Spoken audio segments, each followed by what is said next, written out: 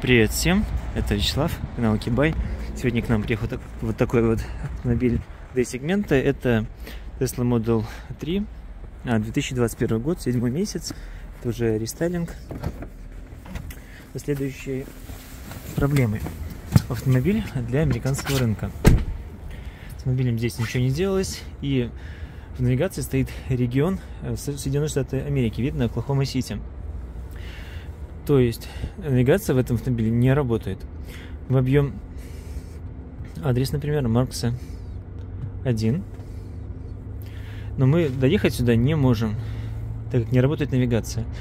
Э, задача перед нами стоит э, поставить регион навигации Европу, и тогда начнет работать вся навигация.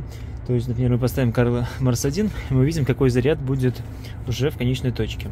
Далее мы покажем, что у нас э, получилось. Давайте продемонстрируем, что у нас получилось. Здесь в углу раньше писала, если не ошибаюсь, Оклахома, а здесь написано картографические данные 2024. А, также мы видим на карте а, пробки. Красненькая это большие пробки, оранжевые поменьше. Также если мы вобьем наш адрес, Тимирязева 121, корпус 4, э, машина пишет, что требуется обновление данных. То есть, как только владелец автомобиля подключит Wi-Fi, загрузится карта и будет э, писаться, и маршрут рисоваться будет, и ну, время до, до локации. Также будет писаться светофоры и все остальное. Теперь данный автомобиль Tesla Model 3 2021 года выпуска, это рестайлинг, имеет ну, карты навигация Э, европейские.